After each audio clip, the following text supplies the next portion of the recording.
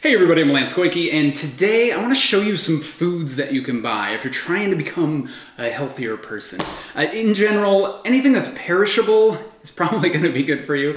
Uh, food that can advertise itself to you is probably not good for you. You want to avoid things that are processed and get things that are fresher, that, that can go bad, which means you kind of got to go to the store probably more than once a week. Um, and you, you got to make sure that you take care of everything. And plus, you're going to need to do some prep for a lot of stuff. But um, once you can get past that stuff, just start looking. And my general rule is just buy the stuff that's on sale. It's generally more in season and it's cheaper for you. Uh, so your body's going to like it a little bit better. Uh, the environment's going to like it a little bit better. And it's going to save on your wallet. Now, pantries are kind of notoriously hard to film in because we don't have external light to push into there right now. So I, I just pulled some stuff out that I think is, we, we kind of go through these things a little bit more than the others. Um, and hopefully it'll give you some ideas for dry goods that you can store. Um, let's start with uh, just the nuts. So I, these are not all of what I'll get. I got some pine nuts, I'll get some sliced almonds. I like those on salads. Uh, pecans I've been putting on salads. Uh, these pistachios are delicious just for snacking. And then here's some freshly ground from uh, Whole Foods uh, nut butter, uh, peanut butter. This stuff is, is generally high calorie, but it's also generally pretty healthy. As long as you have it in moderation, you're gonna be fine. Uh, you probably wanna be super moderate about it if you're really trying to lose weight though. Next up, uh, let's end with maybe the worst stuff. Uh, tea. I love having tea uh, late morning. I try not to have it any, try not to have caffeine afternoon because then it's hard to go to sleep. And sleep is the most important thing you can do for your recovery. So in your pantry, I like to have tea. Just plain old green tea is super good. It's super healthy. But whatever you like, whatever you think is uh, a little more tasty. Green teas and black teas are gonna have more caffeine Whereas you could get like a white tea is gonna have a really little amount of caffeine or some sort of herbal tea will usually give you some nutrients, uh, but won't keep you up at night. Just make sure you read the package. Uh, we'll do some canned and jar stuff too. Canned beans are nice in a pinch. Uh, they're super cheap. If you can, make them fresh, but we always forget to soak them overnight, uh, which kind of makes them a little easier on your gut. Uh, and then uh, Sometimes we'll put tomatoes in and we'll kind of make our own sauce, but usually we're using something from a jar to kind of get us going. This is a sensitive marinara with no onions or garlic. That's been a lot better for my gut because I've been really sensitive to that stuff. So we highly recommend this. This is from Rao's Homemade. I don't know if this is a local thing. Uh, probably not, probably not. But I just get all this stuff at Whole Foods because it's super close. Uh, next, let's talk about this because it's kind of in the same vein. Dry lentils. Uh, we got rice in there. I didn't pull that out, but it's the same idea. Just like the beans. Uh, just another thing you can cook. There's, I mean, that stuff is super cost effective, especially if you're like vegetarian. You're gonna have to have a lot of stuff, and you're gonna have to be pretty active so that those carbohydrates have somewhere to go. But that's a good way to get some protein on a vegetarian diet. I have oatmeal every morning. I don't have a whole lot of it. Um, and I do actually, I put some honey on it. I have some Manuka honey from one of my clients from Australia. His, uh, his family, uh, from Australia? New Zealand. From New Zealand, caught me there. Uh, his family runs a whole uh, business and they do bee honey stuff and it's great. Uh, 309 honey, definitely check it out. It's super good, it's so delicious. So I have a very small amount of that with a very small amount of oatmeal in the morning and that kind of just uh, gives me some energy for the day. And then we've got this, let me move this. Let's go, these are kind of like our, probably shouldn't have too much of this. Um, chips are just like an easy, I don't have to cook it kind of carb source, but this is a little bit more processed. You're gonna lose a little bit of nutrients, but generally not a big deal. Something, some kind of chip where at least as, as, as long as it's not super oily and super deep fried or whatever, um, you're, you're gonna be okay. That's the biggest issue is just the oils in there. Um, and then I've been having some gluten-free pretzels. I've been trying to avoid gluten since I have a lot of gut sensitivities and it just tends to make my stool not as happy. I'm gonna leave it there. Um, these gluten-free pretzels are not something that I, I definitely something that I try to avoid and do not have even every week probably, but uh, they're good in a pinch, especially if you know if I if I only have salad, but I did have a pretty hard workout and I need some carbohydrates, then I might add some of this after my meal. And then the last thing I did want to mention was some sort of protein powder. Um, I, I have recommended Muscle Feast as a whey protein powder. They got all sorts of stuff. Um, their stuff is super um, I just, I, they were the first company that I found a product where nothing else was in it. It was just whey protein. And it's absolutely disgusting, but if you don't want all that extra stuff in your body, like, do it.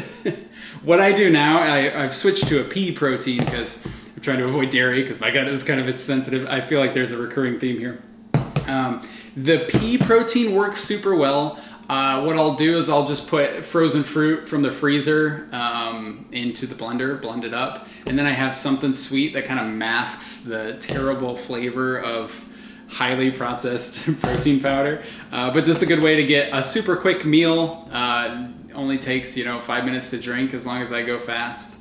And I don't know. That's that's pretty much the pantry though. All right, so starting here on the door in our lower shelf, this is kind of the stuff that we're not using very often. I got a little bit of clearance here so we can put some bottles or some larger jars. Uh, honestly, I don't even think we bought this jam. I use this, this, I mean, we've been here uh, 10 months probably, and that's how much I've used of that. Uh, we've got some salsa that we will use, red hot we will use, and horseradish we use when we want to make our own cocktail sauce for uh, some shrimp. Up here, I use this one a lot. It's really easy to reach and it holds my egg containers super well. So I got 18, or 18 egg containers here. I'll usually put two on top, and though it doesn't seem like it fits, there is this little ledge that stops it from falling out, so it works. Uh, chicken broth is a, a, tall item, so it can go in this. Um, you could also put like, you know, gallons of water here, um, but we don't we don't hang on to a whole lot of that. Behind that, uh, some cured meats and some smoked fish. I don't have that too often anymore, just because it's so expensive. Uh, and we'll, we'll go up to the top here in a sec. Let's go down to the drawers in the main compartment. So we've almost always got a bag of bunch carrots they keep really, really well, and they keep for a long time, so we can always just pull some out of the bag. And then we've got our reusable vegetable containers here. Uh, here's some tomatoes, we've got uh, bell pepper, and we've got beets back here. Um, beets are nice because they do keep a really long time. Green beans, however, they do not. Uh, these are still pretty fresh though, so we bought them recently. Uh, moving up above that, you'll see this container. We bought two rotisserie chickens. Uh, and Allison just pulled both of them all off the carcasses. We were able to throw it all away, get rid of the, the um, smelly chicken carcass, uh, so it didn't just sit in our house forever. And all we've been doing is just we open it and we pull out of there. Um, that's been really good.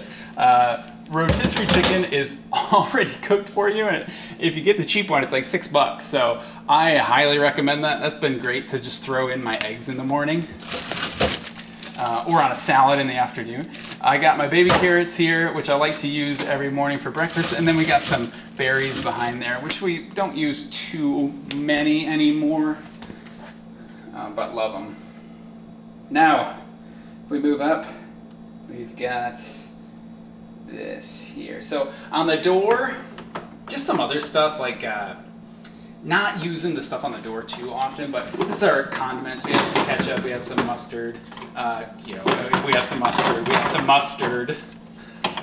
Um, we've got, uh, let me move the mic here. We've got uh, some more salsa, and I, I love this stuff, this Tessemae Organic Green Goddess. I use this on my salads. It's super great. And buffalo sauce. There's really not a whole lot of bad stuff in here, so we've been using that super well. Something like hot sauce, something like mustard, you, you can use that and still be super healthy because it doesn't throw in a bunch of extra calories. And then if we move over to the main compartment again, we, everything here is just like packaged, probably already been cooked will expire if we don't use it, kinds of stuff. And that's kind of the secret to being healthy when you're eating. Uh, you gotta have fresh stuff that goes, uh, goes out. It's got a bunch of preservatives in it. It's been processed and they remove the nutrients during those processes. So I had this big container of lettuce because I've been having a lot of lettuce for lunch and we got a backup one. Allison really likes arugula. There's some Parmesan cheese here, which we don't use super often. that block is super old. Here's some romaine. Uh, leftover stuff, Allison made some taco stuff. So here's a corn that she split in half and she just shaves off some corn and some pre-cut tomatoes. And then behind it, we've got just some taco meat that's already been cooked. Here's our leftovers from last night. I'll probably have that for lunch. Uh, some bread, pre-cut uh, half uh, half-cut uh, onion. That's the word I'm looking for. We've got uh, avocado. We've got cilantro in this bag. we've got a bell pepper that's already cut, a jalapeno that's already cut. All of that stuff is just, hey, if I want some salsa or make some guacamole on my own, it's right there. It's ready. I just gotta finish cooking it. And then on the top, we got herbs on the side here, some chocolate behind there. I got these cookies that uh, they sell at Whole Foods that Allison absolutely hates. They're just they're too gross for her to eat, even though they're cookies. That's how that's how quote healthy they are. Uh, some beans just in a container. Our big stuff, since this is a big compartment, if we make soup or chili or something, we'll put it over here just because we have the clearance. Um, there's a jug of water and some almond milk there. And then just last thing on the door, we've got some butter, various oils. Um, fridge is not super packed though. It's got a lot of turnover too. Because again, there's a lot of fresh stuff. That's not going to be quite as fresh because I left the door open for so long to do this video. Uh, but we've got ghee and we've got some vegan butter just because we haven't been doing very well with dairy, so we're trying to avoid it. And then for the last piece of this video, I just want to show you our, our spice and oil cabinet. Um, down here, you know, spices you can pretty much use as much as possible. Uh, they're not usually adding a bunch of calories as long as it doesn't taste sweet. As long as they don't put sugar in it, you're pretty much fine to use it. So we like to use a lot of salt because we don't otherwise, since we got rid of a bunch of the preservatives in our food, uh, salt is kind of hard to come by. So uh, we definitely put salt on everything we eat. Um, salt and pepper are kind of just like the most used ones. We got this I, I don't know how to say that, but Puget uh, pepper grinder thing, and it is great. That's one of the best gifts I've ever gotten anyone. Uh, some dried oregano. We have some of our own. We grew some herbs in the back, and they're dried in paper bags or plastic bags behind everything. Um, but then just, you know, whatever kinds of tastes that you're looking for. Like we got curry. I love cumin. Um, we use those pretty frequently. There's some turmeric back there. Um, but most of the time what I'm using is basil, oregano, chili powder, salt, pepper. And then if we move up, we've got our fats. So fats are kind of a touchy subject. Um, olive oil is like, it's healthy, but it doesn't hold up to high heat very well. Um, so we don't cook with the olive oil. I'll use it on something that's uh, not cooked very, like if we do long cooked vegetables in the oven, I might put olive oil on it. But if we're gonna put it above 400 degrees, then we're usually using this grapeseed oil here. Um, I had done, you can see behind it, I had done coconut oil and avocado oil but they're at the back of the shelf for a reason. Uh, my body just doesn't do very well with them, so I, I, just don't use them very often. And then recently I've been trying out this duck fat, uh, which has been really good in my eggs, but it makes Allison kind of like nauseous, so uh, she doesn't use that. So whenever we're making something for ourselves, we use either grapeseed oil or extra virgin olive oil and then just some vinegar up here. And maybe worth mentioning, we don't really drink very much at all for me, but uh, we might cook with wine. And then we've got our whole peppercorns that we put in that beautiful uh, pepper grinder thing. But that's it. That's the kitchen. Thanks for watching. If you learned something, hit the like button and subscribe to be notified when I release new videos. If you need something else to watch, check out my playlist on kitchen stuff. I've got some other how to, you know, buy minimalist things and how to make some meals. We're gonna be building that out, so check that out. And uh, if you want maybe some exercise stuff, I've got a whole uh, playlist of mobility circuit stuff. Just kind of like hit play and follow along. I'll kind of explain what we're doing while we're going on, hopefully not too long-windedly, and uh, hopefully you'll feel nice and relaxed afterwards.